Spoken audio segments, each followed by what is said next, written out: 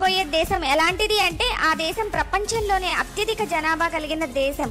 అలాగే ప్రపంచాన్ని వణికించిన కొన్ని వైరస్లు ఈ దేశంలోనే పుట్టాయి. కాపీ కొట్టడంలో ఈ దేశాన్ని మించిన మరొక దేశం లేదు అని చెప్పొచ్చు. ఆ దేశం మరేదో కాదు. ఇప్పటికే మీకు అర్థమయ్యే ఉంటుంది కదా? ఎస్ ఫ్రెండ్స్ చైనా చైనా గురించి ఈ వీడియోలో మీకు నేను అమేజింగ్ అండ్ ఇంట్రెస్టింగ్ ఫ్యాక్ట్స్ చెప్పబోతున్నాను.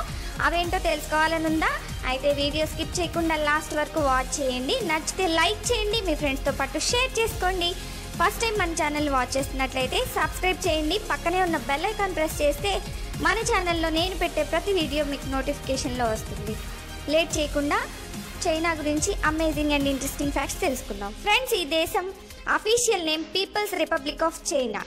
ఈ దేశ జనాభా చాలా ఎక్కువ. చైనా పాపులేషన్ దాదాపు నూట నలభై నాలుగు కోట్లు. అత్యధిక జనాభా కలిగిన దేశాల్లో నెంబర్ వన్ స్థానంలో ఉంది. ఈ దేశంలో ప్రజలు అరవై శాతం సిటీస్లో ఉంటే నలభై శాతం విలేజెస్లో ఉంటారు.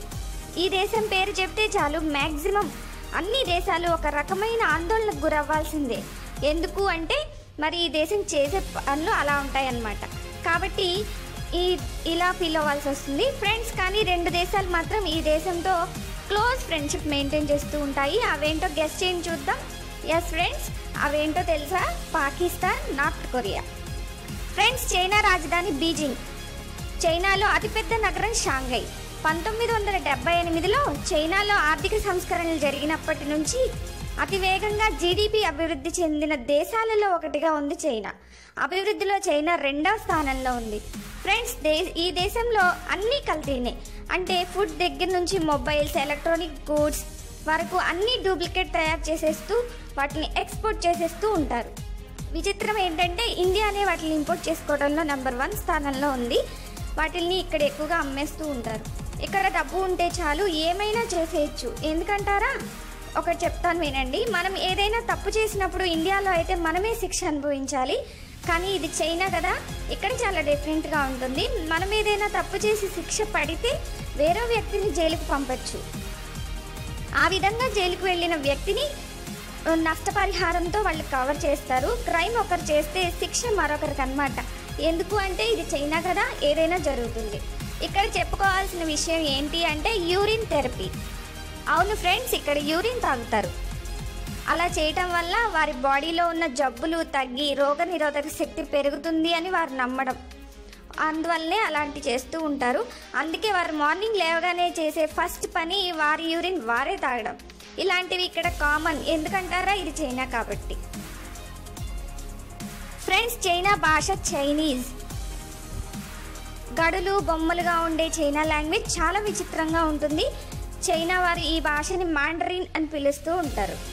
ఫ్రెండ్స్ చైనీస్తో పాటు మనం ఇం- ఇక్కడ ఇంగ్లీష్ని కూడా ఎక్కువగా మాట్లాడటం చూడవచ్చు. అమెరికా కంటే చైనాలోనే ఎక్కువగా ఇంగ్లీష్ మాట్లాడుతూ ఉంటారు. ఫ్రెండ్స్ చైనాలో దొరకందంటూ ఏమీ ఉండదు. అన్నీ దొరుకుతాయి. ఆఖరికి గర్ల్ ఫ్రెండ్తో సహా కొంచెం డబ్బు ఖర్చు పెడితే చాలు ఏవైనా వచ్చేస్తాయి. ఇక్కడ గర్ల్ ఫ్రెండ్ని రెంట్కి కూడా తీసుకుంటూ ఉంటారు. వీటికి సపరేట్ వెబ్సైట్స్ ఉంటాయట. వాటిని లాగిన్ అయి బుక్ చేసుకోవాలి. ఈ గర్ల్ ఫ్రెండ్ ఒక్క రోజు నుంచి రెండు నెలల వరకు ఉండే ఆప్షన్ కూడా ఉంది. కండిషన్స్ అప్లై ఏంటి అంటే గర్ల్ ఫ్రెండ్గా వచ్చిన అమ్మాయి ఫిజికల్గా దగ్గర అవదు ఎమోషనల్గా మాత్రం దగ్గర అవుతుంది. మిమ్మల్ని ప్రేమిస్తుంది. ఇలాంటివి ఇక్కడ తప్పక ఇక్కడ తప్ప ఎక్కడ జరగవు. చైనాలో డబ్బు ఉంటే చాలు. ఎలాంటివైనా ఎలాంటి సర్వీసెస్ అయినా మనకి అవైలబుల్ ఉంటాయి. ఫ్రెండ్స్ చైనాలో చాలా కంపెనీస్ ఉన్నాయి. వాటిలో హై లెవెల్లో ప్రొడక్షన్ కారణంగా అక్కడ ఎయిర్ పొల్యూషన్ ఎక్కువగా ఉంటుంది. అంతేకాదు జనాభా ఎక్కువ ఉన్నప్పుడు పొల్యూషన్ కూడా ఉంటుంది కదా. సో చెట్లు నాటాలి పొల్యూషన్ కంట్రోల్ చేయాలి అని మిగతా దేశాలన్నీ ఆలోచిస్తూ ఉంటాయి. అలా చేస్తే చైనా ఎందుకు అవుతుంది? కాబట్టి ఇక్కడ కూడా బిజినెస్ తెలివితేటలు ఉపయోగించింది చైనా. ఎస్ ఫ్రెండ్స్ చైనాలో ఇక్కడ ఫ్రెష్ ఎయిర్ అమ్మబడుతుంది. అని బోర్డ్స్ ఎక్కడ చూసినా కనిపిస్తూ ఉంటాయి. ఇక్కడ గాలిని కూడా బాటిల్లో పెట్టి అమ్ముతారు. ఎయిర్ క్వాలిటీ బాటిల్స్ అని దొరుకుతాయి. ఇందులో నైంటీ ఫైవ్ పర్సెంట్ స్వచ్ఛమైన గాలి ఉంటుందంట. ఇది పీల్చుకోవటంలో మనకి చాలా హెల్దీగా ఉంటాము. దాని కాస్ట్ వచ్చేసి ఇండియన్ రూపీస్లో రెండు వేల రూపాయలు. ఫ్రెష్ ఎయిర్ కావాలంటే టూ థౌజండ్ రూపీస్ పే చేస్తే చైనాలో వచ్చేస్తుంది. ఫ్రెండ్స్ చైనా ఆహారపు అలవాట్ల గురించి మనం ఎంత తక్కువగా చెప్పుకుంటే మనకంత అంత ఆరోగ్యానికి మంచిది. మనం తినే ఆహారాన్ని చిన్న మనం తినే ఆహారంలో చిన్న ఈగ పడితే చాలు మనం తినకుండా పడేస్తూ ఉంటాం. అలాంటిది వీళ్ళు తేళ్ళు పాములు బొద్దింకలు పురుగులు అన్నీ కుక్క మాంసంతో సహా అన్నీ తినేస్తూ ఉంటారు. ఫ్రెండ్స్ చైనాలో చూడాల్సిన ప్రదేశాలు ఏంటో తెలుసుకుందాం.